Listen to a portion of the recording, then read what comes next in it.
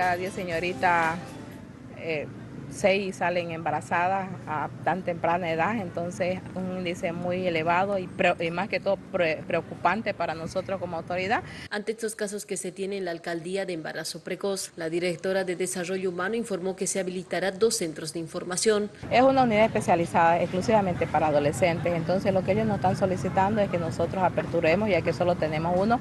Uno se ha creado más que todo para experimentar y era un centro piloto y vemos que ha sido muy importante esa creación del centro piloto y que funcione en Santa Clara. Entonces nosotros como autoridad vamos a tener que implementar dos centros más, que va a ser en Mapajo y en Villabú. El objetivo es disminuir los casos de embarazo precoz, además de concienciar a los jóvenes. Esperemos nosotros de que esto nos ayude también a disminuir el embarazo precoz en adolescentes, la masculinidad también, el machismo que existe con los mismos jóvenes. Entonces son trabajos que estamos haciendo de forma coordinada con diferentes convenios, la UNFPA, Ahorita los que nos han capacitado ha sido José Espinal con Gregoria Paza.